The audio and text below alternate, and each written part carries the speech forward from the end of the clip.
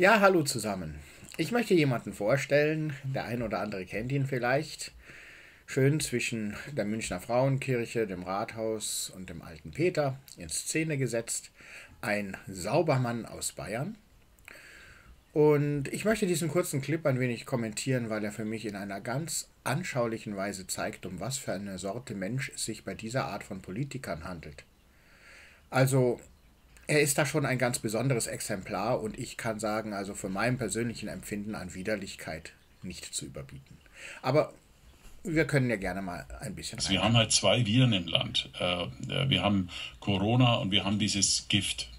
Dieses Gift, das ähm, äh, bei allen Wunsch mitzunehmen, ähm, wirklich auf einer Form aggressiv ist, was durch äh, Querdenker und zum Teil eben auch durch Parteien wie die AfD massiv verbreitet werden.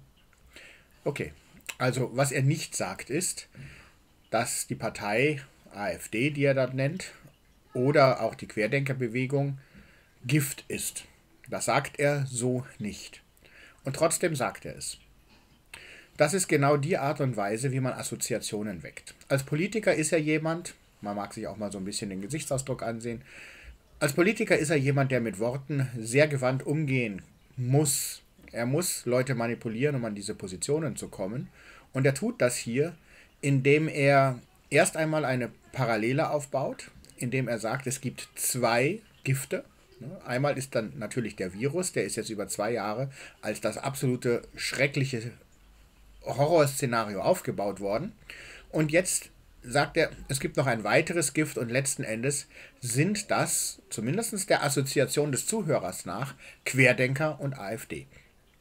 Das heißt, auch wenn er es wörtlich nicht so sagt, bleibt der Eindruck beim Betrachter zurück, dass er Menschen hier als Gift bezeichnet. Als, ja, äh, etwas, was letzten Endes zu bekämpfen ist. Und zwar nicht auf einer sachlich-politischen Ebene, sondern auf einer emotionalen Ebene.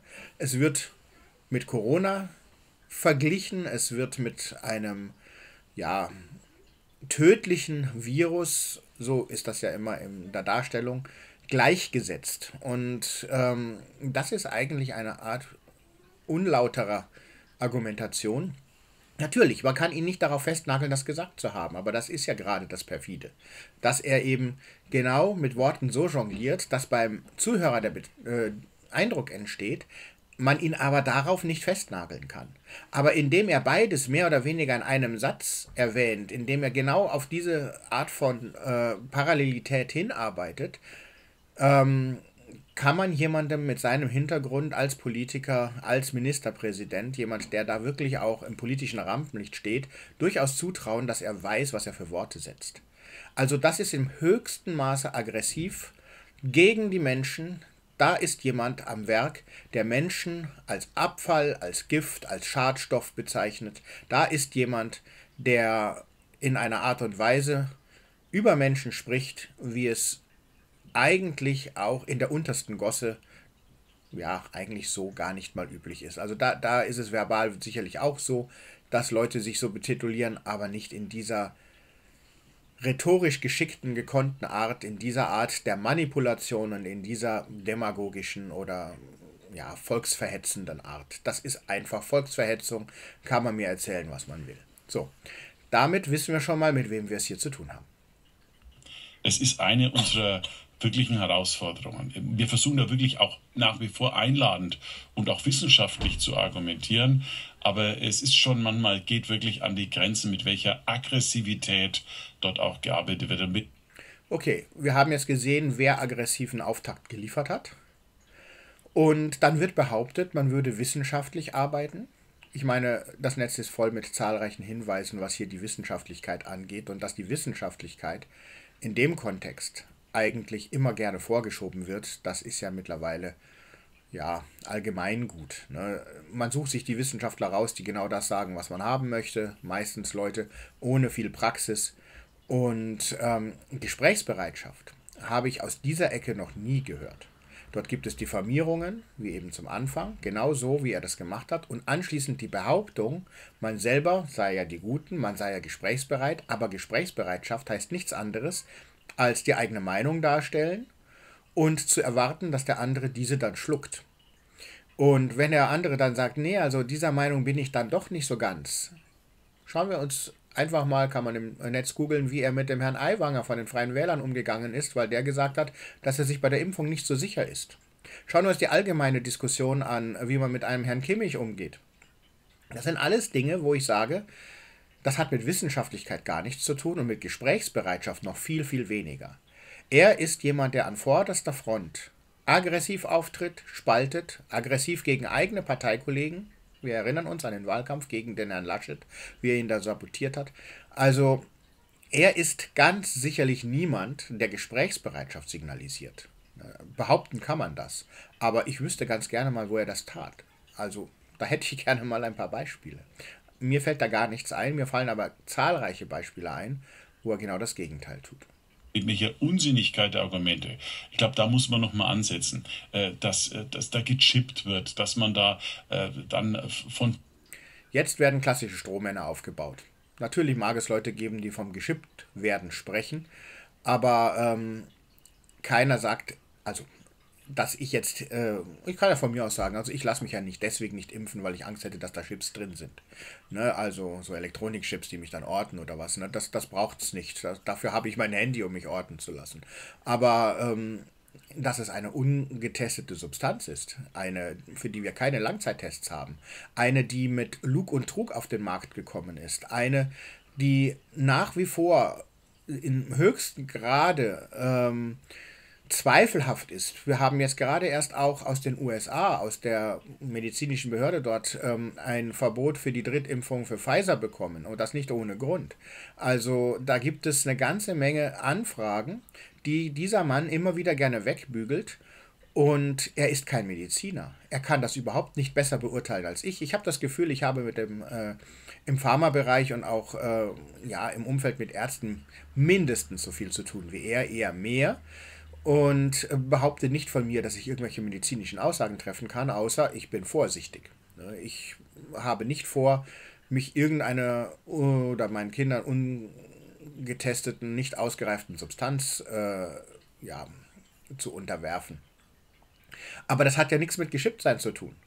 Da, da gibt es eine ganze Menge Leute, die machen auch ihre Beobachtungen, ihre Studien, äh, die erklären natürlich auch Zusammenhänge, die medizinischen Hintergrund haben, was mit Chip gar nichts zu tun hat. Und äh, da wird halt einfach so getan, als äh, würden das alles so, so, so verrückte Leute, die irgendwie so eine äh, Idee haben. Und genau das ist auch immer wieder diese Art und Weise, die ich diesem Herrn insbesondere vorwerfe. Er geht nicht in eine Diskussion. Er ist nicht gesprächsbereit, sondern er sucht sich das Skurrilste, was ihm irgendwo vor Augen kommt, heraus und dagegen argumentiert er die ganze Zeit. Auf ein sinnvolles Argument ist dieser Herr, soweit ich das gesehen habe, noch nie eingegangen. Ich habe nie irgendwo gesehen, wo er sich wirklich auf einem medizinischen Niveau sauber und anständig Argumentationen gestellt hätte. Auch das würde ich gerne mal sehen bei ihm. Bill Gates kontrolliert wird. Das ist ein Unsinn. Ja, das mit dem Bill Gates ist wieder eine ganz andere Sache. Auch das hat mit dem Wirkstoff nichts zu tun. Dass Bill Gates ein Impfbefürworter ist, das bestreitet niemand.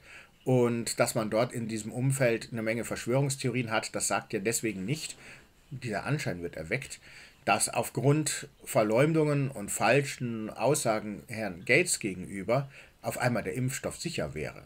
Also das hat ja mit dem Impfstoff überhaupt nichts zu tun, ob man hier gewisse Personen ähm, in ein vertrauenswürdiges oder weniger vertrauenswürdiges Licht setzt. Oder dass Kinder getötet worden seien, um aus den Föten den Impfstoff zu machen.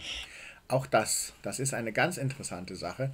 Dass Kinder getötet worden seien, äh, das spielt auf diese Verschwörungstheorien mit dem Adenochrom an, also wo angeblich in den USA, kann man googeln, Pizzagate-Affäre und so weiter, Kinder umgebracht werden, um an entsprechende Stoffe zu kommen und so weiter. Das ist sicherlich aus meiner Sicht ziemlich abgespaced.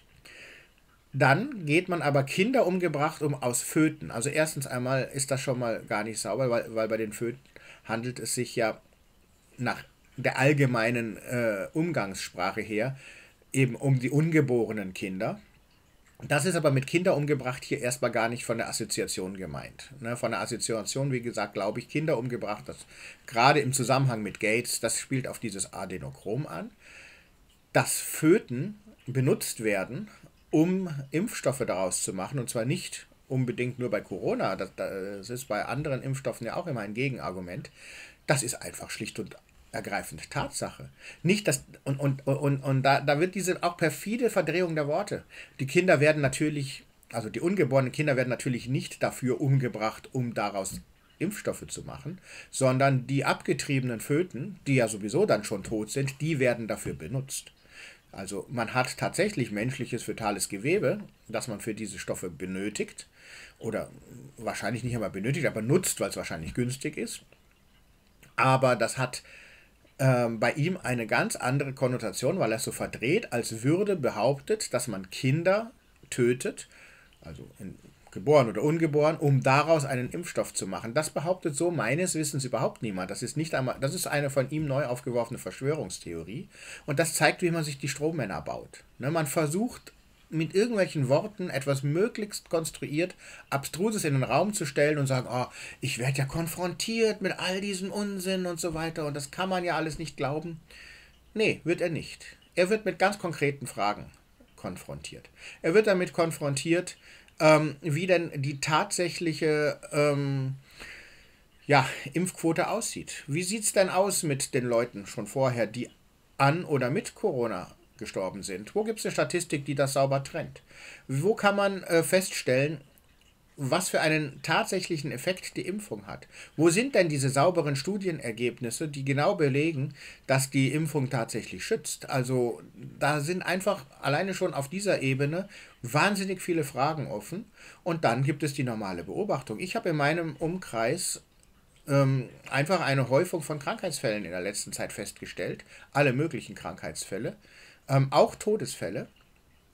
Und ich bin mir nicht so sicher, ob das nicht auch etwas mit einer Impfung zu tun haben kann. Ich habe keine Ahnung, aber ich hätte ganz gerne eine ähm, offengelegte Untersuchung auch der kritischen Stimmen, wie zum Beispiel das in Amerika der Fall ist, hatte ich ja eben erwähnt.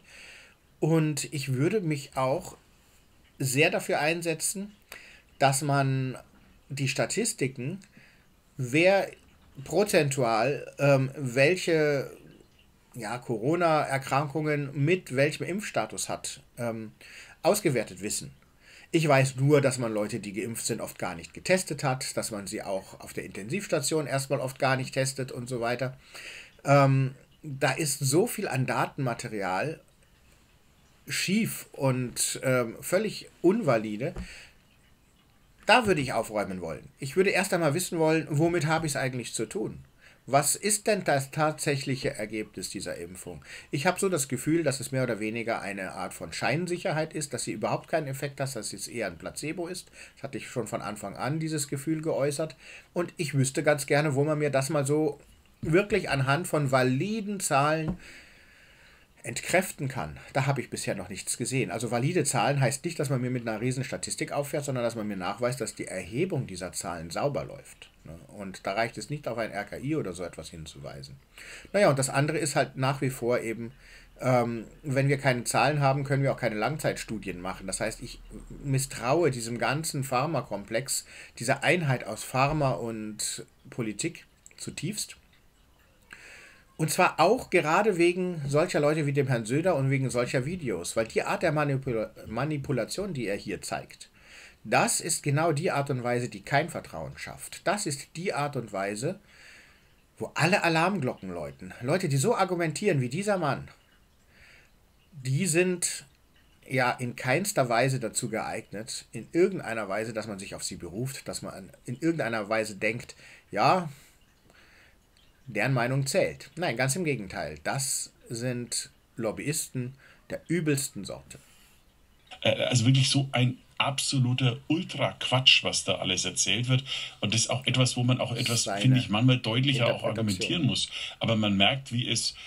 Ja, deutlicher argumentieren, also autoritärer werden. Das hat überhaupt nichts mit. Ich, ich kenne keine Argumentation von ihm spaltet. Ich habe gerade auf der Herfahrt hier ähm, einen interessanten Bericht im Spiegel gelesen, wo ein Paar an, am Beispiel eines Paares beschrieben wird, wie es sich völlig äh, ja, so fremd einander wird, weil, weil Argumenten in dieser Szene die Leute sich ja richtig so, so reinigeln, kann man es so sagen, wie in, wie in so einer Sekte. Ja, Ne, den Gegner diffamieren, schön und gut. Das sind natürlich immer die anderen, die sich einigeln. Ich kenne das auch, dass diese Spaltungen durch die Familie gehen.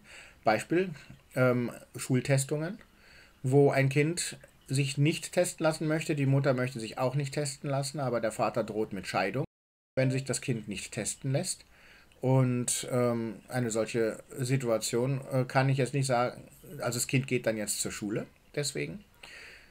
Das ist eine Art des Auseinanderlebens und es gibt sehr, sehr viele Beispiele und das kann man nicht einfach sagen, das sind die Impfgegner, das sind die Leute, die ein bisschen vorsichtiger sind mit diesen ganzen Pharmaerzeugnissen und mit dieser Gentechnologie, sondern äh, das sind auch sehr oft Leute, die von Menschen, von Demagogen wie dem Herrn Söder verführt worden sind, die eine Art von Autoritätsgläubigkeit dem Staat gegenüber hegen und in dem Sinne überhaupt keinem Argument offen sind. Also das kann ich sicherlich auf beiden Seiten finden.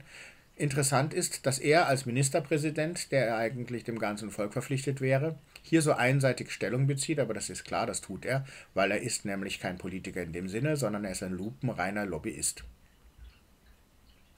den Argumenten nicht mehr zugänglich sind. Ich hätte nie gedacht, ich muss es ganz, ich hätte nie gedacht, dass man überhaupt über solche Argumente reden muss. Wunderbar.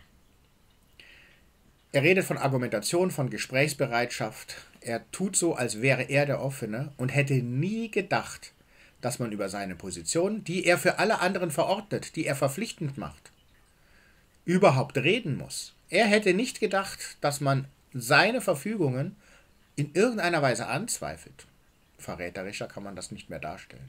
Sondern dass alle glücklich sind, wenn sie impfen sind. Am Anfang haben wir nur darüber geredet, wann kommt man dran. Das war ja. Ja, wer ist wir? Ne?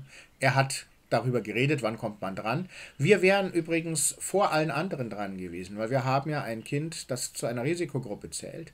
Und wir haben diesen Impfstoff angeboten bekommen, bevor alle anderen ihn angeboten bekommen haben. Und wir haben ihn von Anfang an abgelehnt. Das heißt, diese Diskussion, diese Fragestellung, ähm, am Anfang gab es ja nicht einmal Kurzzeittests. Im Prinzip gibt es auch nach wie vor keine validen Studien zu diesen ganzen Sachen. Und sie sind ja auch noch nicht wirklich zugelassen, in dem Sinne, wie man früher klassisch ein Medikament hätte zulassen müssen.